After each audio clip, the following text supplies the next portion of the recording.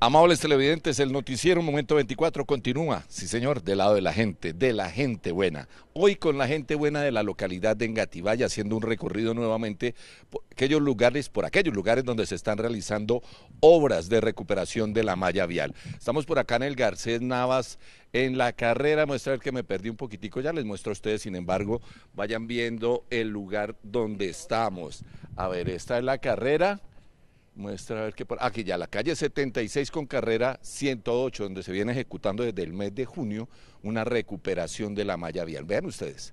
Ahí van avanzando las, sombras, las obras y nos han dicho que esto va hasta aproximadamente el mes de diciembre si las cosas le salen bien en lo que se está haciendo aquí con el alcantarillado y la malla vial recuperada.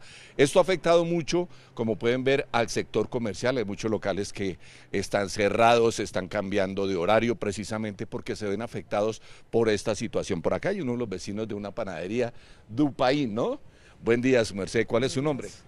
Heriberto. Don Heriberto, usted como comerciante aquí en esta panadería, ¿se ve afectado por la, por la demora o por las obras que se vienen realizando aquí frente a su negocio? Sí, señor, un poco afectado desde el mes de junio que empezó la obra, entonces siempre nos hemos visto afectados. ¿Cuánto puede disminuir en, en, digamos, en porcentaje sus ventas con relación a estas obras que se están ejecutando aquí en Engativa, que por cierto vemos que no han llegado los obreros? Eh, yo le pongo que entre un 20 y un 25% se, se, se, Se bajan las ventas, se bajan las ventas. Y esto va hasta el mes de diciembre, ¿sí le habían dicho? Se supone que tenían que entregar hace un mes, pero pidieron una prórroga hasta diciembre. Esperemos que sí entreguen en esa fecha. ¿Cómo ve usted la obra, cree que pueda ser posible?